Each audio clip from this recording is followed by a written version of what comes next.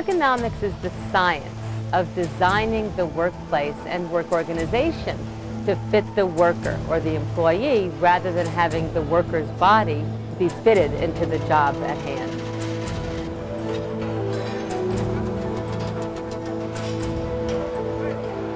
The Bureau of Labor Statistics have identified over 615,000 lost workday injuries every year due to musculoskeletal disorders. These are the soft tissue injuries, the upper extremity injuries, uh, and especially the lower back injuries. They can be very debilitating. They're very serious, they're very costly, but most important, they're preventable. And an ergonomic program does not need to cost a lot of money. I mean, a lot of it is common sense. So we need to make sure that we do implement preventive programs uh, designed through ergonomic techniques.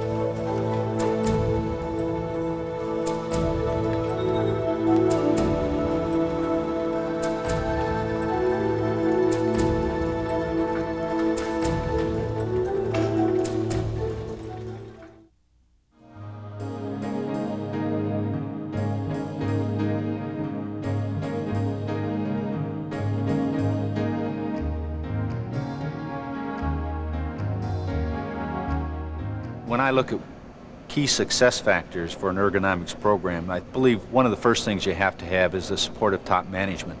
Top management doesn't have to do a lot. They just have to be there to support it, encourage it, and let the people know they believe in it as well. The group that really has to be there to make it work is the group that's running the plant, that's designing the product. It's all those people. So it's the people on the assembly line floor or the machine floor. It's the mechanical engineers in the manufacturing operations. It's the design engineers. It's all of the people that really put that product, that plant, that whole system together. To get the benefits of good ergonomics, the employees have to be involved in it. And when they're involved in it, things really happen and you see motivated, excited employees. The union negotiated the ergonomic committee in the master contract in 1990. And the reason we took it to the table was that our members were getting hurt on the job.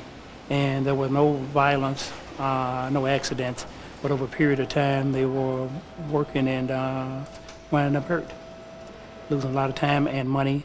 And once you get carpal tunnel and some of your other CTDs, uh, there's no cure. So your life is changed or ruined forever. So we wanted to prevent that. About four or five years ago, I started becoming aware of the employees' complaints as to wrist problems, shoulder problems, back problems. And since we didn't have a, a procedure in place for ergonomics at the time, I started to keep my own logs of what the employee was doing, the type of work they were doing, and the type of complaints. The safety committee decided to look into the problem and found that there were consultant firms out there that would come in and train them so that they could properly look at the jobs and know how to evaluate and how to rectify the problems. At Melrose Park, we focus on a series of goals. We also follow a number of, of, of, measures of safety and of productivity. Ergonomics is one of the areas we track, as well as the overall health and safety. What we saw in, in 1996, for example, is we had no repetitive trauma OSHA reportable incidences. That's a substantial improvement over past years, but it's only come through a, an aggressive program coordinated through our committee. We've been able to reduce our workers' compensation costs so that they're only one-fifth of the state average. At the same time, the lost time case rate and the incidence and frequency rate is much lower than national average. This shows that we can reduce our cost and also protect the health and productivity of the workforce. Some of the first things you're going to do is you're going to look at their OSHA 200 logs or their injuries and illness records and to try to determine which ones of those are actually ergonomically related. Then you're going to talk, talk to management officials to find out what kind of programs they have. And then you want to get out into the plant, do some videotaping, look at the tools that they're using, and talk to the employees and ask them, you know, do you report these things to the company officials, such as the tingling in your fingers, the numbness in your hands, your arms, those types of things, and find out if they've been trained regarding ergonomics. Um, do they have a medical department? What kind of medical facilities do they have?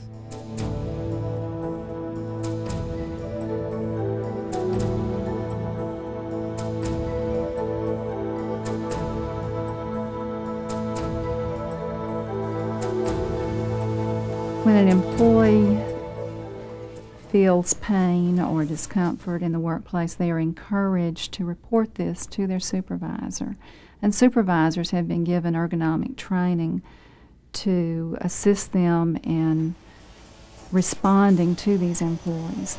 The uh, ergonomics program allows the supervisor to um, adjust the workstation, uh, correct work methods, and if the employee's problems are not resolved with those measures, then they are referred to the nurse for evaluation and treatment. Do you feel anything there? Okay, that's good.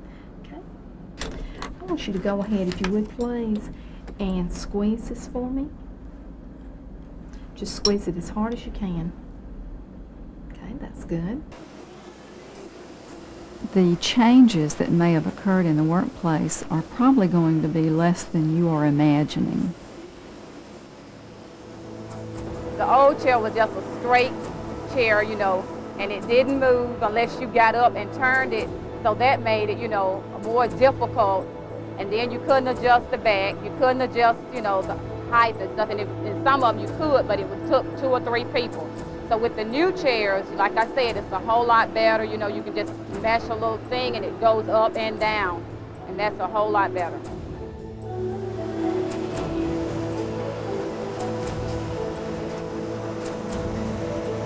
We also have bundle trucks. You don't have to pick up the whole bundle. You just, you know, uh, you're able to pick up one garment at a time. And that way you don't have to, you, you know, have to pick up the whole thing, you know, at one time. And that makes a whole lot easier in handling. And you can also just push the truck up from one, you know, operation to the next. Another thing we have are is folding tables that you can adjust them up and down because, you know, we're all not the same height. So with, you know, when you're folding, you can be able to lift the table up for taller people and down, you know, low for shorter people. In the last six years, we've experienced over a 50% decrease in the number of illnesses that uh, we had, had, reported before then. Uh, we are averaging about uh, a little over two illnesses for every 200,000 hours worked. Kind of give you an idea as far as the frequency is concerned. Uh, dollars, uh, we started uh, our parallel to rates. we noticed as we, as our rates went down, as far as illness is concerned, our dollars did also. Plus, uh, our people are happier. Uh, in doing surveys within the plants myself, I find that they are, they tell me that they are less tired now than they were years ago when they first came to work it's just smart business to go ahead and, and uh, get involved with the uh, uh, Ergo program because sooner or later you'll have problems.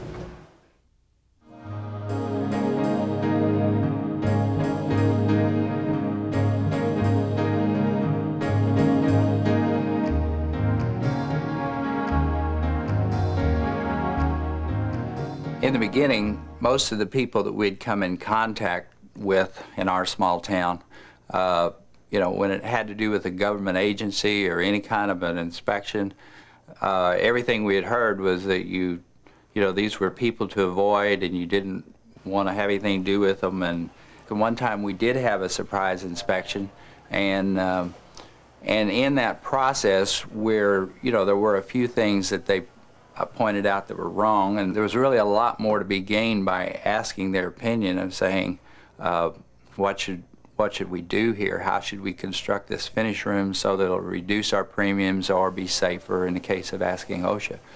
We think that we actually benefited. And because of this, we kind of made this shift from them being the enemy to them being a resource that, that actually would help us. David Carroll, our safety director. Uh, he has got books from OSHA and different places, and, and he shares them with the safety team, and then we carry this on back to our teams. We have had an improvement in uh, ergonomics. It helps uh, lifting uh, on the panel processing. Uh, we used to lift just one single panel at a time with plywood. Now we use forklift where we pick it up and we have a lift that works it up onto the table. We don't have to squat, pick up as much.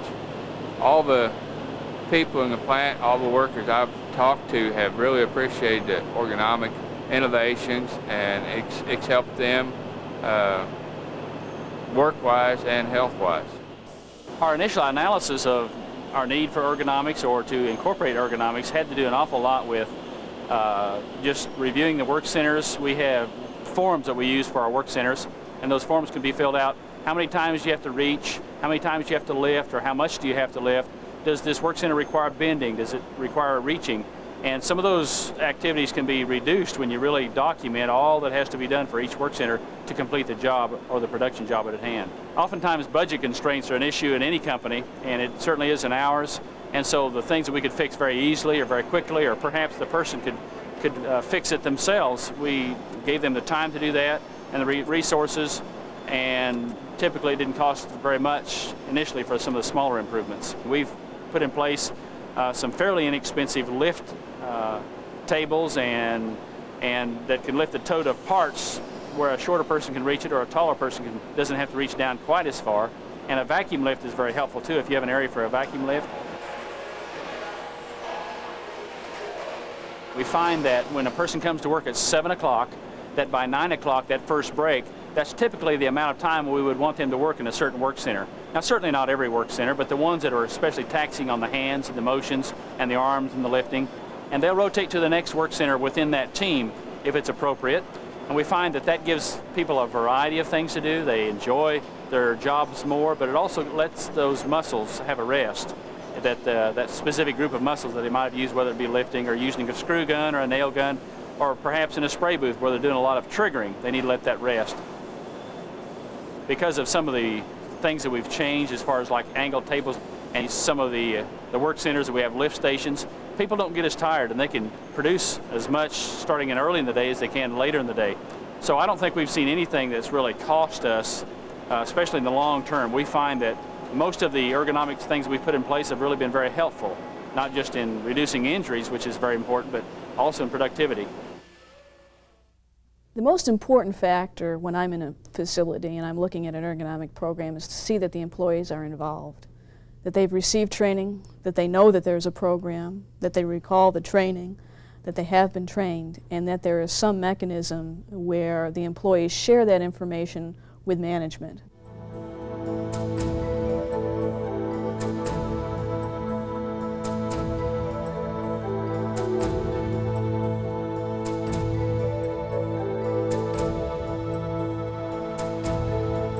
Few years ago, I saw a patient who worked at Sequins International performing a job called spooling. She came to me complaining of right shoulder pain and described that her job required her to go like this all day long. So she was turning a crank with her right arm and with her right shoulder elevated and in constant motion. It turned out that she had a condition called rotator cuff tendonitis, and because this can be serious, Lori Kellogg from the union's Health and Safety Department went out to Sequins. What I started with was just confidential health symptoms surveys of the workers. And I found out that almost 75% of them were experiencing pretty serious pain of some kind or another, and some of them very serious pain. And I took that information to management without giving any names, just the aggregate results. And we started talking about what a serious problem there was in this factory and how the union could help. I'm working here almost 30 years. I've done most jobs in the factory, so I'm pretty familiar with most of the processes. Um, I am plant, have been plant manager. I'm currently human resource director. When I first heard that we had a problem in a particular department called the spooling department, I wasn't so sure I believed that the problem was being caused within the factory. I started off with videotaping the jobs, um, all different positions, each of the workers. And those videotapes were used to further educate management, the supervisors, and the workers. We did extensive educational programs with the supervisors and the workers so that everybody could give their ideas about what was wrong with the job and how to find solutions. She came down, we um, looked at some videos and got some education, the supervisors and some of management, and uh, realized at that point that the process that we were um, asking the workers to do was um, certainly um, adding to this um, carpal tunnel syndrome problem. The classes we had were very helpful, educational, because it taught us to explain where the symptoms were coming from, where we had the symptoms, and how we were to go about it.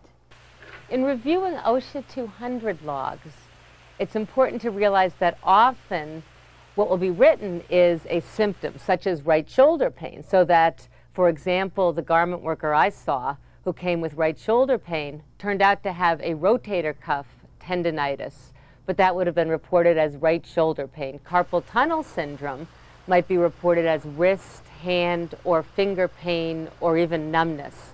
So it's important to realize that symptoms of pain, numbness, tingling, soreness, anywhere from the neck down into the arms can be due to specific upper extremity musculoskeletal diseases.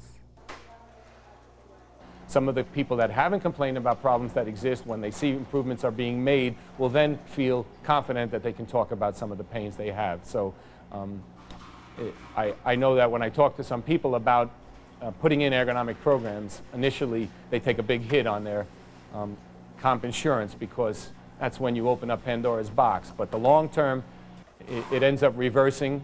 We have gone from one year having $96,000 in comp claims, 18 cases being carpal syndrome, to in 1996 we had $4,500 in comp claims in five cases, none of them being carpal syndromes. Bueno, primeramente esta silla tú la puedes mover para, para abajo como para arriba, lo mismo el pedal de abajo la puedes bajar según cómo te sientas, lo mismo la máquina la puedes mover, subir, también acá esta la puedes levantar. Puedes trabajar también parada, puedes usar el pedal parada y también la puedes bajar esto, lo puedes subir y bajar. ¿Ves? Como bajarla también. Entonces ahora ya me siento mejor. The most important thing that we've learned about the ergonomics process is that there's one group of people who knows what the problems are and can figure out the solutions, and that is the workers who are doing the jobs. And you have to give a lot of room for them to criticize, to be involved in the process, to make complaints, to be honest about the symptoms they're feeling, and then really respect the suggestions that they make for improving the machine. An ergonomics project really has to include a lot of different elements. There has to be a plan for looking at medical issues and medical management. How are people going to be dealt with when they have injuries? There needs to be a participatory process for job analysis and job redesign. And there needs to be evaluation after the project and as you go along in the project. You need to look at what you're doing, how people are reacting to it, what their feedback is, and whether they like certain changes or want to see other things change. It needs to be an open structure where there is full participation by the workers and the management and supervisors. If there's a message to give anybody about trying to take a look at what's being done in your factory and see if you can make some improvements, certainly ergonomically, um, the message I would say is that, that as small as you might be, there is a lot that you can do, and it doesn't always require large sums of money. Um, this is not an issue of comfort, this is an issue of health we learned in this process that um, if, if you're trying to incorporate your workers into making a business successful, you cannot ask them to extend themselves on one end if you don't listen to what their problems are on the other. And I think that's where we came from. People just became so much happier in, in the workplace and doing their job. It's kind of like they got rid of all the annoyances and all the things that bothered them, uh, you know, day in and day out on a da daily basis And, and they didn't have to do that anymore or be disturbed by that anymore so they could concentrate on things that impacted the business issues. We know these programs work. With management commitment, total employee involvement, you know, dedication to the job, you'll get excellent results.